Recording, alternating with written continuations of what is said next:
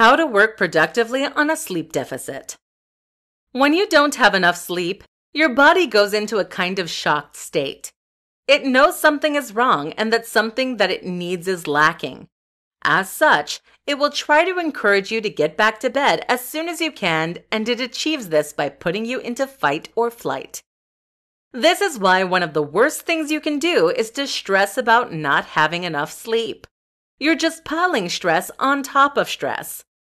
But in order to achieve homeostasis, the calm neutral state that the body enters when everything is fine, you need to make sure that you are well rested.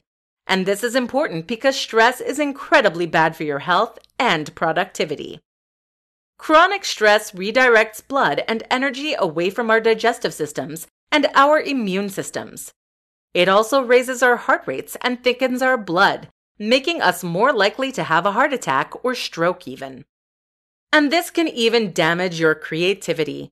That's because you are most creative when we are relaxed, and the brain is thereby able to consider lots of different ideas and facts. When we are stressed, we go into a state of tunnel vision and can often only focus on one thing at a time. This can lead to us banging our head against the wall, trying the same solution to a problem over and over again. But what if you don't have any option? What if you're a new parent or you're jet lagged? How do you get productive even then? Reduce cortisol. The first aim should be to reduce stress. We do this initially by doing anything we can to lower stress hormones like cortisol. First, Stop stressing about how little sleep you got. This creates a vicious cycle that ends with you in an exhausted heap. Next, restore your blood sugar.